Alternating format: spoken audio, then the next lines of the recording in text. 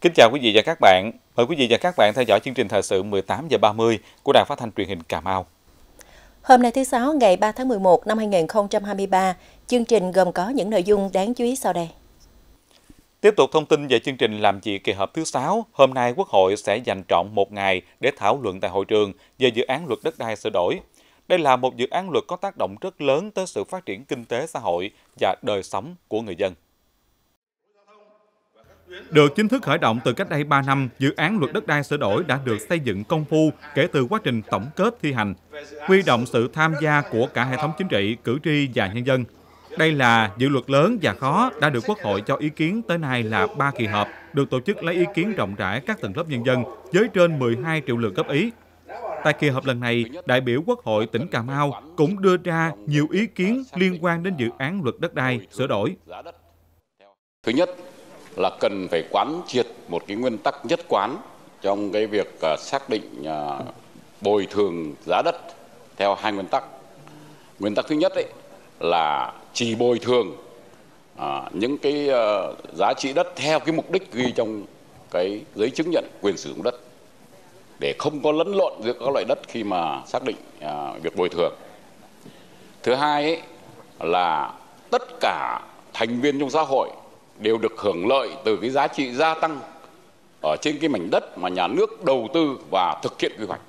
Không một ai được hưởng quyền lợi riêng ở đây cả. Nếu như xác định hai nguyên tắc này sẽ uh, khắc phục được cái sự nhầm lẫn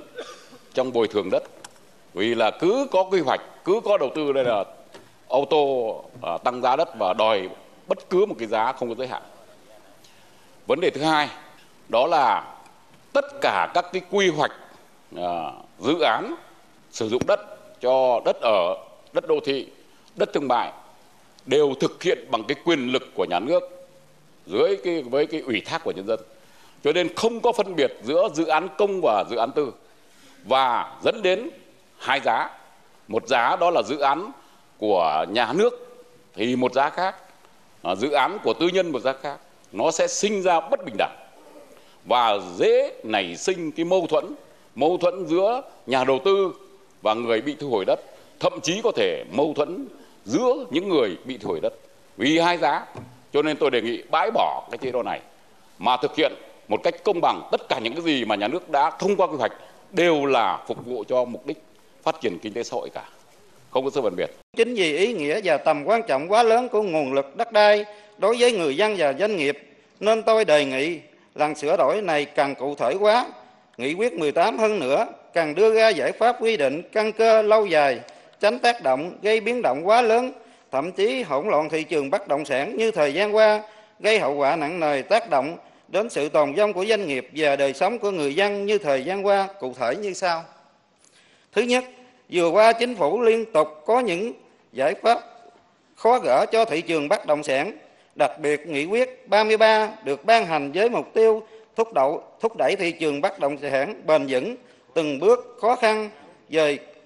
câu chuyện pháp lý của các dự án trái phiếu và dòng vốn. Nhưng ở góc độ nào đó, đây vẫn là biện pháp tình thế can thiệp vào thị trường, mà muốn thị trường bất động sản phát triển ổn định, lành mạnh, chúng ta cần có lực đất đai, lực kinh doanh bất động sản, lực nhà ở đồng bộ, ổn định, nhất quán, phù hợp với quy luật của thị trường. Thứ hai, trong nghị quyết 18 tại mục 2.5 có yêu cầu sửa đổi luật đất đai lần này cần có chính sách ưu đãi tiền sử dụng đất, tiền thuê đất phù hợp với địa bàn ưu đãi đầu tư cũng là yêu cầu của nghị quyết 19 về nông nghiệp, nông thôn, nông dân nhưng chưa có trong dự thảo luật này. Thứ ba, về quy hoạch cái kế hoạch sử dụng đất từ điều 64 đến điều 67 đang dự thảo thì quy hoạch cũng bao gồm chỉ tiêu diện tích giao đất cho các địa phương Điều này gây khó khăn cho địa phương, cấp tỉnh và huyện sẽ phải điều chỉnh quy hoạch sử dụng đất nhiều lần trong quá trình thực hiện vì khi quy hoạch thì nhà đầu tư chưa xuất hiện. Và theo nghị quyết 18 thì quy hoạch chỉ tiêu phân dùng không gian do vậy quy hoạch mà xác định chỉ tiêu cụ thể các loại đất là chưa chắc chắn, chưa đồng bộ, có tính tin cậy. Do vậy tôi đề nghị tách quy hoạch và kế hoạch ra hai nội dung, chỉ tiêu thì nằm trong kế hoạch Dự án luật đã được xây dựng công phu, tiếp thu góp ý từ nhân dân, chuyên gia, các bộ ban ngành địa phương, ý kiến của đại biểu Quốc hội một cách cầu thị trách nhiệm. và nếu được thông qua sớm, đây sẽ là căn cứ pháp lý quan trọng khơi thông nguồn lực đất đai. Chiều nay, thành phố Cà Mau chọn ấp 5 xã Tân Thành làm điểm chỉ đạo tổ chức Ngày hội Đại đoàn kết toàn dân tộc năm 2023. Tại ngày hội, các đại biểu tham dự và nhân dân đã cùng nhau ôn lại truyền thống dễ dàng qua 93 năm thành lập Mặt trận Dân tộc Thống nhất Việt Nam và khẳng định vai trò quan trọng của công tác mặt trận trong tiến trình phát triển của đất nước. Tại đây, Ủy ban Mặt trận Tổ quốc Việt Nam tỉnh, Ủy ban nhân dân thành phố Cà Mau, Ủy ban nhân dân xã Tân Thành tặng nhiều bằng khen giấy khen cho nhiều tập thể cá nhân, công bố quyết định công nhận 588 hộ gia đình đạt danh hiệu gia đình văn hóa năm 2023 và 533 hộ gia đình đạt danh hiệu gia đình văn hóa giữ vững 3 năm 2021, 2022, 2023. Ngày hội Đại đoàn kết toàn dân tộc là ngày hội của toàn dân. Đây cũng là dịp để các đồng chí lãnh đạo đảng, chính quyền, Ủy ban Mặt trận Tổ quốc Việt Nam các cấp trực tiếp gặp gỡ lắng nghe tâm tư, nguyện vọng của nhân dân. Qua đó góp phần xây dựng, củng cố vững chắc khối đại đoàn kết toàn dân tộc.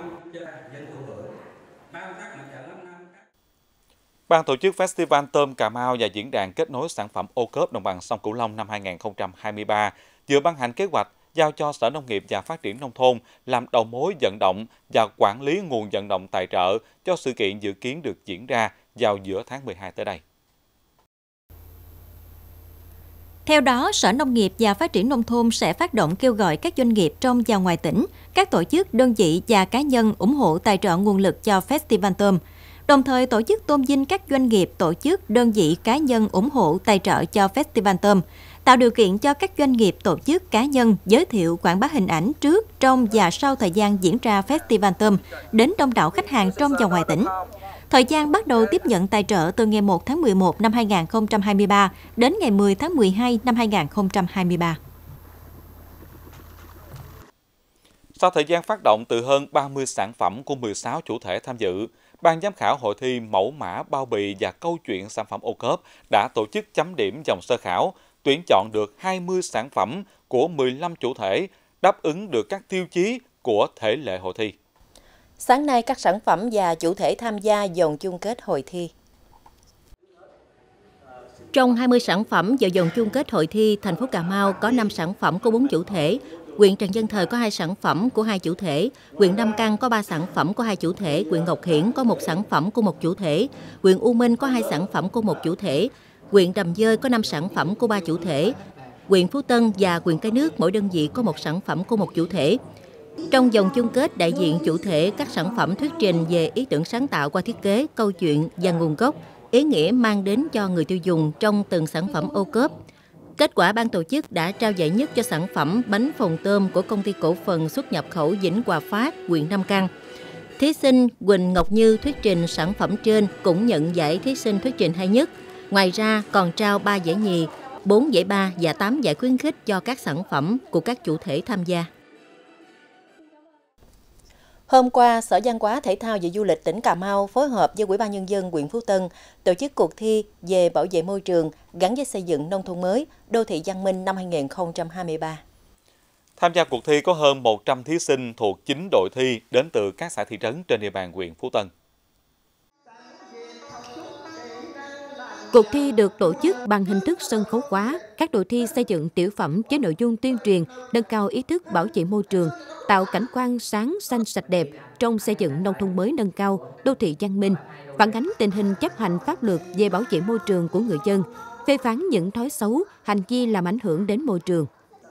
Qua gần một ngày tranh tài, với nhiều tiểu phẩm hay phản ánh được thực tế hiện nay, ban tổ chức đã trao một giải A, hai giải B, ba giải C cho các đội xuất sắc và ba giải cá nhân cho diễn viên xuất sắc nhất, kịch bản hay nhất và biên tập dàn dựng xuất sắc nhất.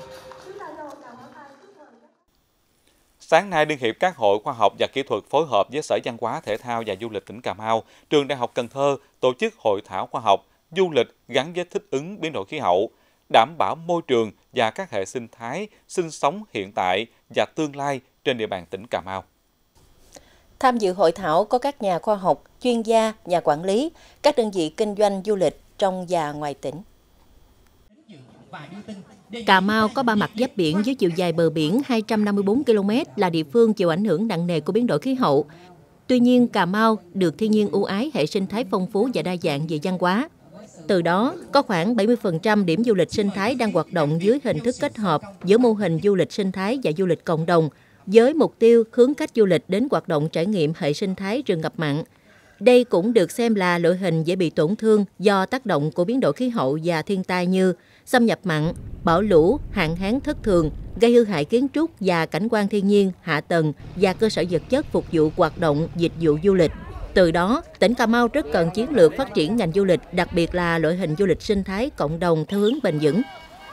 Thông qua hội thảo, đã nhận được gần 20 tham luận từ các nhà khoa học, chuyên gia, nhà quản lý, các đơn vị kinh doanh du lịch đóng góp ý kiến, định hướng phát triển các sản phẩm mới thích ứng biến đổi khí hậu, gắn với các lĩnh vực, ngành nghề khác có liên quan để đảm bảo tính đồng bộ trong triển khai thực hiện và các biện pháp chủ động ứng phó với biến đổi khí hậu đối với cộng đồng dân cư. Từ năm 2014, việc vận động nguồn vốn quỹ hỗ trợ nông dân được thực hiện hàng năm ở tất cả hội nông dân các xã, phường, thị trấn trên địa bàn tỉnh Cà Mau. Tính đến nay, nguồn vốn quỹ hỗ trợ nông dân của tỉnh hơn 68 tỷ đồng. Từ nguồn vốn này đã tạo cơ hội cho nhiều hội viên nông dân tiếp cận được vốn để đầu tư phát triển sản xuất, từng bước nâng cao thu nhập, cải thiện cuộc sống gia đình. Năm 2021, gia đình anh Trương Văn Hoàng cùng 10 hộ thành viên của tổ hợp tác sản xuất của ấp Lê Hoàng Thá, xã Tân Bằng, huyện Thới Bình được tiếp cận dự án quỹ hỗ trợ nông dân với số tiền 200 triệu đồng. Có vốn các gia đình đầu tư nuôi tôm, cua, quảng canh. Vào mùa mưa, bà con thả tôm càng xanh và làm thêm vụ lúa trên đất nuôi tôm. Với sự đầu tư hướng dẫn của Hội Nông dân xã, các hộ được triển khai dự án từ nguồn vốn quỹ hỗ trợ nông dân đều sản xuất hiệu quả. Tháng 8 năm 21 đó là có à, có dây cái à, cái quỹ hùng vốn của à, của chế hội nông dân đó. Được 20 triệu về cũng uh, mua nuôi tôm nuôi tôm á nuôi tôm với nuôi cua thâm canh. Thì cũng thấy cũng có cái hiệu quả. Đợt uh, cái năm 2002 thì cũng được thu hoạch cũng được cũng khoảng sáu bảy chục triệu. Thấy cũng thuận lợi hơn là Ờ, à, dây ngân hàng nếu mà dây ngân hàng nó đủ thủ tục hết trơn thu hồi vốn lại thì có trong khi đó là cho dây 10 hộ thì 10 hộ đó thì cũng bàn vốn lại đầy đủ hết gia đình mình cũng vậy luôn từ nguồn vốn quỹ hỗ trợ nông dân, ngày càng nhiều hội viên nông dân trong tỉnh đã có điều kiện để đầu tư sản xuất. Năm 2022, Tổ hội nghề nghiệp nuôi cua thương phẩm ở ấp Kinh Tám, xã Tân Bằng, huyện Thới Bình do anh Quách Văn Quân làm tổ trưởng đã được triển khai dự án quỹ hỗ trợ nông dân 100 triệu đồng cho 6 hộ để thực hiện mô hình nuôi tôm cua kết hợp trồng lúa. Hiện nay các thành viên đang tiếp tục nuôi tôm cua và làm vụ lúa trong vuông. Ai cũng phấn khởi với những hiệu quả của nguồn vốn quỹ hỗ trợ nông dân mang lại. Khi tiếp cận được cái nguồn vốn của mà hội nông dân huyện giao về xã mà cho cái dự án vậy thì nói chung là bà con rất phấn khởi dây được cái đồng vốn này khỏi dây bên ngoài tạo được cái điều kiện để cho bà con thả tôm càng hồi năm ngoái thì lên nó cũng đỡ. Năm nay thì bà con cũng xuống giống rồi hết rồi càng rồi hết cua cũng rồi hết. Xã đồ lên hỏi thăm suốt à, theo dõi cái dự án suốt luôn. Khi có cái người được mà cái được cái mà quỹ hỗ trợ nông dân này về thì mình thu cái quỹ hỗ trợ nông dân lại đăng về trên đó, thì nó rất dễ hơn dễ hơn lúc trước rất nhiều. Còn như lúc trước thì hơi khó. Còn bà con ta thấy được ta dây được đó người ta đóng mình lại vận động đóng cái quỹ hỗ trợ nông dân lại thì nó rất dễ. Nhiệm kỳ qua thì à, hội nông dân xã là tiếp nhận được ừ, một tỷ mốt quỹ hỗ trợ nông dân. Thì à, trong đó là có một tỷ là nguồn vốn là của à, từ ban điều hành quỹ hỗ trợ nông dân tỉnh thì có 100 triệu là của ban điều hành quỹ hỗ trợ nông dân huyện. Các nguồn vốn triển khai thì mình thực hiện là như là nuôi cua thương phẩm nuôi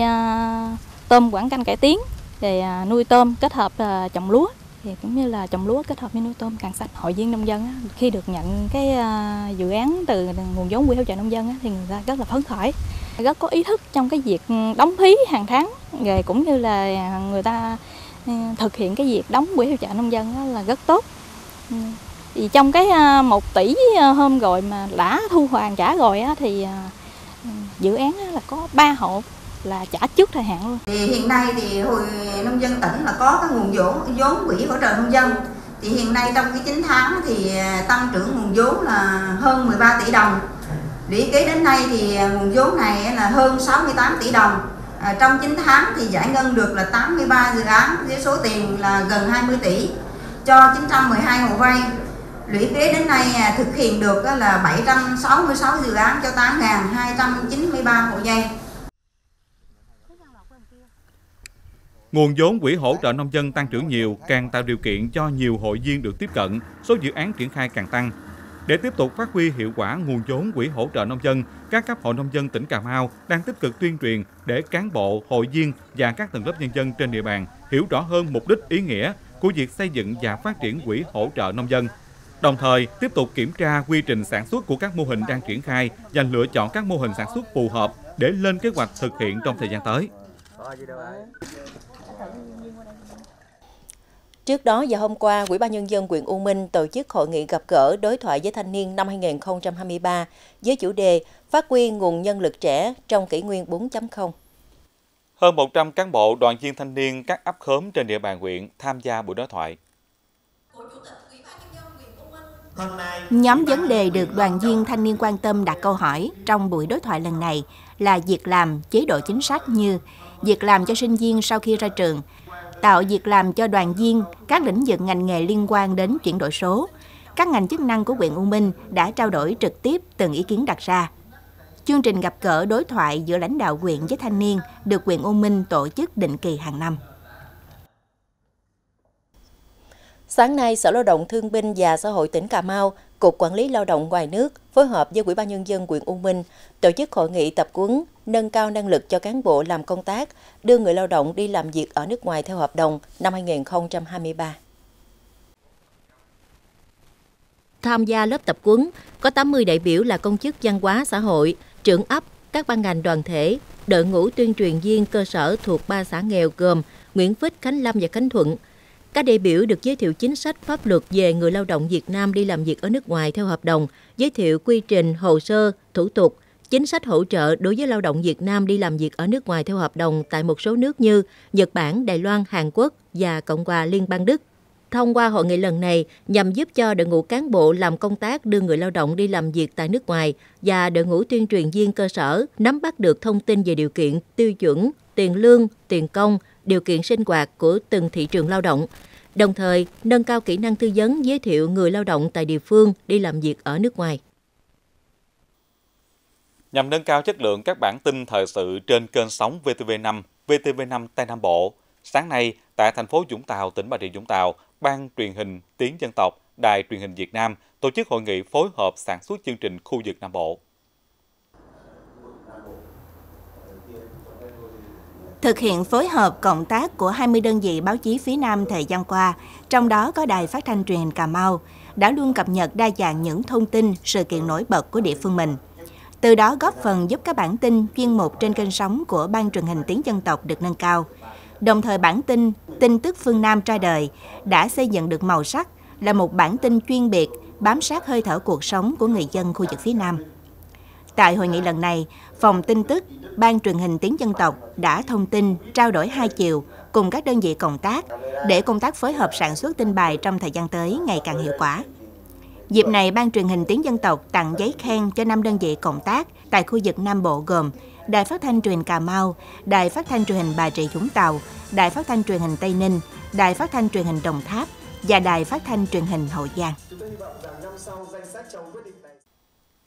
Cũng trong sáng nay, Trung tâm huấn luyện và thi đấu thể thao tỉnh Cà Mau phối hợp với Trung tâm văn hóa truyền thông và thể thao huyện Thế Bình tổ chức giải bóng đá cúp các câu lạc bộ tỉnh Cà Mau năm 2023. Giải bóng đá quy tụ hơn 145 vận động viên của 10 câu lạc bộ trong tỉnh tham gia. Biểu khai mạc xin trân trọng kính mời. Giải bóng đá diễn ra trong hai ngày nhằm tạo cơ hội gặp gỡ, giao lưu, thắt chặt tinh thần đoàn kết giữa các vận động viên của các câu lạc bộ. Đây còn là dịp để quyền Thế Bình phát động phong trào thể dục thể thao trong đội ngũ cán bộ, công chức viên chức, đoàn viên thanh niên, các tầng lớp nhân dân trong huyện. Qua đó tiếp tục hưởng ứng phong trào toàn dân rèn luyện thân thể theo gương Bác Hồ vĩ đại. Nội dung vừa rồi cũng đã kết thúc chương trình thời sự tối nay của Đài Phát thanh truyền hình Cà Mau. Cảm ơn quý vị và các bạn đã quan tâm theo dõi. Xin chào tạm biệt và hẹn gặp lại.